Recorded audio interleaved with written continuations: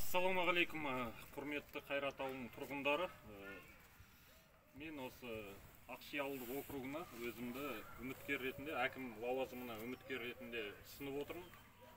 Қазіргі уақытта біз төрт үміткер бармыз. Ол сабыржан бейсетайұлы барлықтарыңыз танисыздар. Осы ауылда сегіз жылдай әкім болып отыр. Қалған екі адам осы біздің округта тұрмайды екен. Көрші ауылдарда тұрады екен. Көктөбе есіктар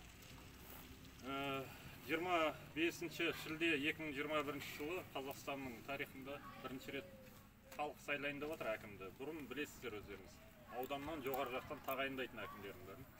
Мынау тарихта біздің жаңағы қазақстан мемлекетімізде елімізде ә, демократиялық қоғамға деген бір ә, қадам деп түсінуге болады. Себебі халықпен ә, санасып жатыр билігіміз ә, халық өзі сайласын өзінің жаңағы әкімдерін ауылдағы әкімдерін өздері сайласын деген ә, мемлекет басшысының ұсынысымен осындай сайлау өткелі жатыр 25 шілде күні. Ә, барлықтарыңыз ауылдың болашағына тағдырына бейжай қарамай 25 шілде күні сайлауға келіңіздер өз таңдауларыңызды жасаңыздар. Ә, мен жалпы мына сіздерге берген қағаздарда өзімнің ә, бағдарламамды қысқаша түрде көрсетіп кеттім. Ауылдағы өзекті мәселелерді өздеріңіз білесіздер. Мен де осы ауылдың тұрғынымын ақши ауылының тұрғынымын. Өзекті мәселелер ауылда ауыз су суармалы су ә, жол жөндеу мәселелері бар интернет ұстамайды кейбір жерлерде. Ә, электр қуаты бар жаңағы мен аралап келдім мына ақшидің төмен жағында қазбек би деген көшелер бар екен.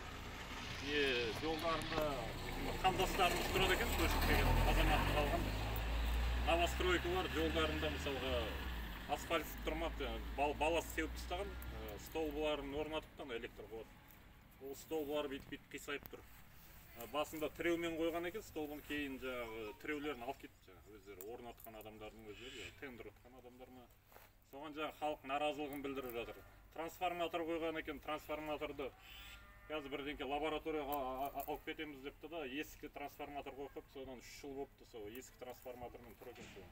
Қандастарымыз жаңағы өздері өзінің жан айқайын айтып жаңағы бәрін ә, бейне таспаға түсіріп жариялаймыз ватсап желісіне де ютуб желісіне. Ә, сондай халықтың жан айқайын ә, әкімнің жұмысы сол ауданға облысқа жеткізу ғой. Барлық мәселе қаржыға тіреледі бюджет сол бюджетке кіргізіп халықтың мұң мұқтажын жеткізу керек деп ойлаймын. Өзімді таныстырсам сол білетін шығарсыздар кейбіреулеріңіз білмеуіңіз мүмкін. Осы ақшиде мектебінің түлегімін осында оқыдық туып өстік әкемді тану керексіздер.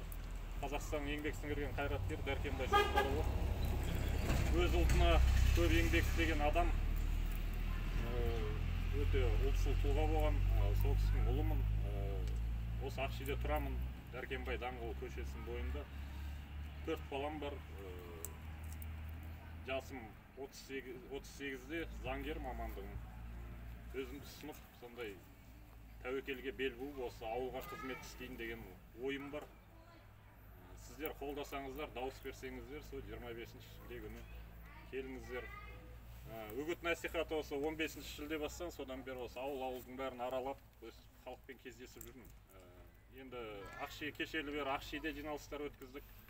Ана ер адамдар мешіттің қатымханасында жиналдық. Өзекті мәселелерді қозғадық кеше. Ә, бүгін қайрат ауылына келіп тұрмын. Ары қарай жоспарда казаткүл саз ауылдары бар. Ол жаққа да барып халықпен кездесеміз. Сол қысқаша сұрақтарыңыз болса қойыңыздар.